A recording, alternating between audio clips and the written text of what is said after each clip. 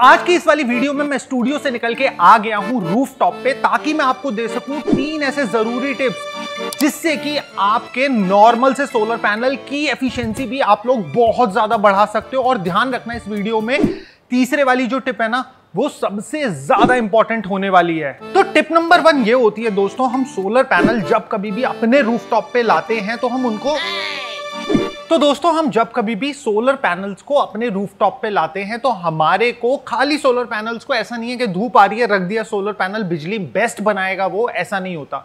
तो देखो, हमारी अर्थ पे जो सूरज उगता है, वो ईस्ट से उगता है और वेस्ट की तरफ़ ढलता है। हमारे यहाँ पे ईस्ट ये है वेस्ट वहाँ पे है। तो अब क्या होता है, ये ईस्ट है, ये वेस्ट है तो इस साइड वाला पोर्शन हो जाता है साउथ का। और अगर आप अर्थ को दो इक्वल हिस्सों में डिवाइड करोगे इक्वेटर से तो जो लोग इक्वेटर के टॉप साइड में रह रहे हैं इंक्लूडिंग पूरा का पूरा इंडिया तो हम लोग अपने सोलर पैनल्स को लगाते हैं साउथ की तरफ़ फेसिंग जिससे कि सन की maximum intensity throughout the day हमारे सोलर पैनल्स को मिल सके। और यहीं पे अगर जो लोग इक्वेटर की लाइन के नीचे रहते हैं, जैसे कि ऑस्ट्रेलिया तो वो लोग अपने पैनल्स को नॉर्थ की तरफ़ ओरिएंट करके लगाते हैं, जिससे कि उनके सोलर पैनल्स पे भी मैक्सिमम सन की रेडिएशन पड़ सके। मगर यहाँ तक आते आते कि हमारे को अपने सोलर पैनल्स को साउथ डायरेक्शन में रखना है, मगर यहाँ पे एक और चीज़ आती है कि भाई, हमारे सोलर पैनल्स का टिल्ट एंगल क्या रहेगा? हमें साउथ की तरफ़ उनको 90 डिग्री रखना है 45 रखना है 15 रखना है तो आखिर में ये क्या रखना है? तो देखो दोस्तों, इस पे ना इंटरनेट पे बहुत सारी अलग अलग राय हैं। कुछ लोग बोलते हैं कि आप अपने लैटिट्यूड लॉन्गिट्यूड से कैलकुलेट कर लो 15 डिग्री समर में रखो, फिर 15 डिग्री माइनस कर दो विंटर्स में तो ऐसा कुछ करने की ज़रूरत नहीं है, क्योंकि इंडिया में हमारा बेसिकली सोलर स्ट्रक्चर जो लगता है, वो बिल्कुल फिक्स लगता है। तो हमारे पास ऑल्ट्रेशन का, सर्दी और गर्मी में स्कोप नहीं रहता। तो हम लोग जो अपने सोलर पैनल्स को लगाते हैं ल्यूमन सिटी में, हमारा एक स्टैंडर्ड रूल ऑफ़ थम है, जो हम इस्तेमाल करते हैं 30 डिग्री का एंगल तो मतलब कि अगर आपने अपने सोलर पैनल या आपका फ्लैट लेटा हुआ है, आपने ये साउथ है, आपने इसे साउथ की तरफ़ उठाया तो आप 30 डिग्री का एंगल क्रिएट करोगे सोलर पैनल को लगाते समय में और इसी से, केवल इतनी छोटी सी चीज़ से आपके सोलर पैनल की एफिशिएंसी में 10 टू 15 परसेंट का एडिशन हो जाएगा ऑटोमेटिकली तो आप ये चीज़ चेक करना, अगर आपके यहाँ पे सोलर पैनल लगे हुए हैं कि आपका सोलर पैनल क्या इसी तरीके से लगा हुआ है टुवर्ड साउथ और अगर आप जानना चाहते हो ईस्ट वेस्ट नॉर्थ साउथ तो हर फ़ोन में आज की डेट में कंपास है, आप खुद से भी ये चीज़ चेक कर सकते हो। तो अब आता है दोस्तों, दूसरा और सबसे ज़्यादा इंपॉर्टेंट पॉइंट और ये वाला पॉइंट इतना ज़्यादा इंपॉर्टेंट है कि इसको कई बारी इंस्टॉलर तक ओवरलुक कर देते हैं। अब ये वाला पॉइंट है क्या? तो देखो, जब कभी भी आपने सोलर पैनल्स अपने रूफटॉप पे लगा लिए तो आप केवल ऐसे ही नहीं है कि हमारा ये रूफ का स्पेस है, इस पर हमने लगा दिए तो आपको क्या देखना है? अपने रूफ टॉप पे शेडो फ्री एरिया अब शेडो फ्री एरिया क्यों मैं बोल रहा हूँ? क्योंकि कई बारी हमारी रूफ पे जैसे मेरे पीछे मंटी है, मंटी का शेडो आ जाता है। और इसी के बाद में कई बारी हमारे घर के आसपास पेड़ होते हैं, पेड़ों का शेडो आ जाता है। तो अब यहाँ पे समझने वाली एक चीज़ क्या है कि जब हम एक स्ट्रिंग इन्वर्टर लगाते हैं मतलब कि हमने 10 सोलर पैनल की एक स्ट्रिंग बनाई और वो इकट्ठी इन्वर्टर में चली गई और इस स्ट्रिंग के, इस पूरी, इस स्ट्रिंग के किसी एक पैनल पे भी अगर शेडो आएगी तो वो ओवरऑल पूरी स्ट्रिंग के वोल्टेज को इफ़ेक्ट करेगा। और इससे कि हमारे लिए तो पैनल की केवल एक ही पैनल पे शेडो आ रही है, मगर इससे हमारा ओवरऑल आउटपुट काफ़ी हद तक डिक्रीज हो जाएगा। तो अगर आपके रूफटॉप पे एक घंटे के लिए भी एक पैनल पे शेडो आएगी तो वो आपके ओवरऑल प्रोडक्शन को इफ़ेक्ट करेगी। तो इस चीज़ का हमें खास करके ध्यान रखना है कि हमारे सोलर पैनल्स पे मॉर्निंग टिल इवनिंग किसी भी पैनल पे कभी भी कोई शेडो नहीं आनी चाहिए। मगर कई बार ऐसा भी देखा गया है कि कुछ हिस्सों में शेडो अनअवॉइडेबल हो जाती है। या तो फिर हमें पैनल्स कम करने पड़ेंगे, नहीं तो शेडो आएगी ही आएगी। तो उस केस में आप क्या कर सकते हो? उस केस में आप एक स्ट्रिंग इन्वर्टर लगाने की बजाय एक माइक्रो इन्वर्टर लगा सकते हो।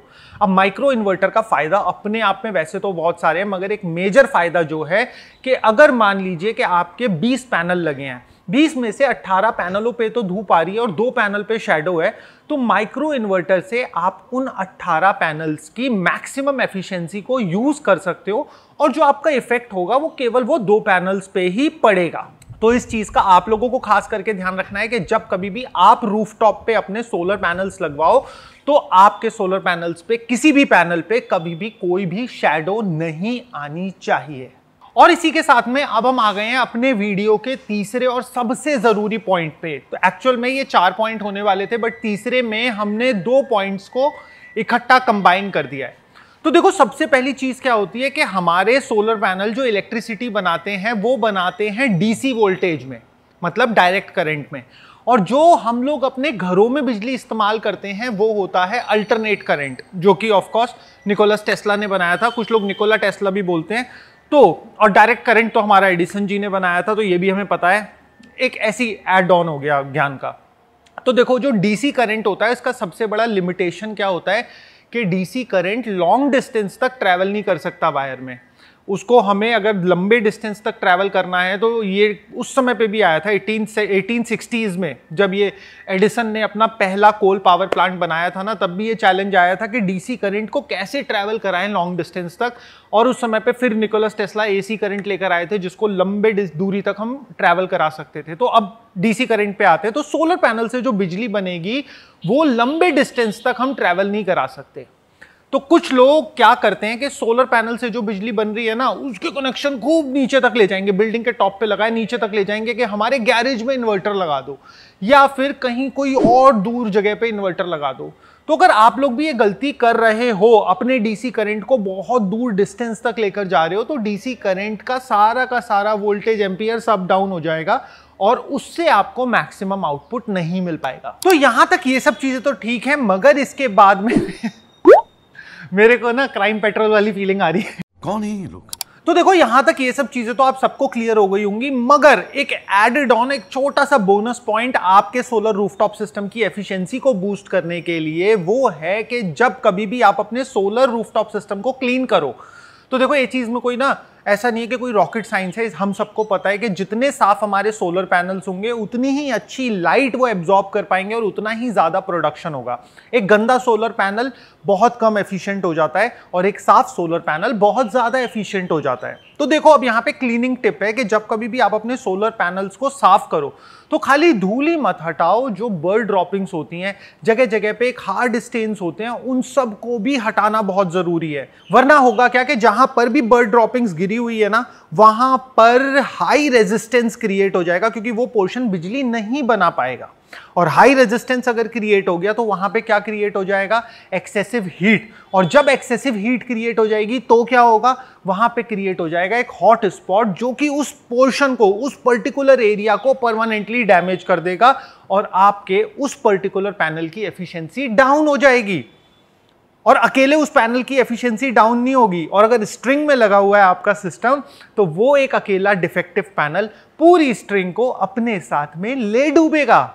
तो दोस्तों, गर्मी तो आज बहुत ज़्यादा है और अगर आप लोग भी इंटरेस्टेड हो अपने रूफटॉप पे कोई भी तीन किलो वॉट पाँच किलो वॉट दस किलो वॉट का सिस्टम लगवाने के लिए तो आप ह्यूमन सिटी को तो कांटेक्ट कर ही सकते हो। और हम किस तरीके से काम करते हैं, अगर आप उस चीज़ के बारे में वीडियो देखना चाहते हो तो देखो आपकी स्क्रीन पे आ रहा होगा, हमारा एक इंस्टॉल्ड पाँच किलो वॉट का सिस्टम और अगर आप तीन किलो वॉट के सिस्टम को देखना चाहते हो कि कैसे हम इंस्टॉल करते हैं तो वो डिस्क्रिप्शन में लिंक मिल जाएगा। तो इस वीडियो के बाद जाके आप उन वीडियोस को भी देख सकते हो।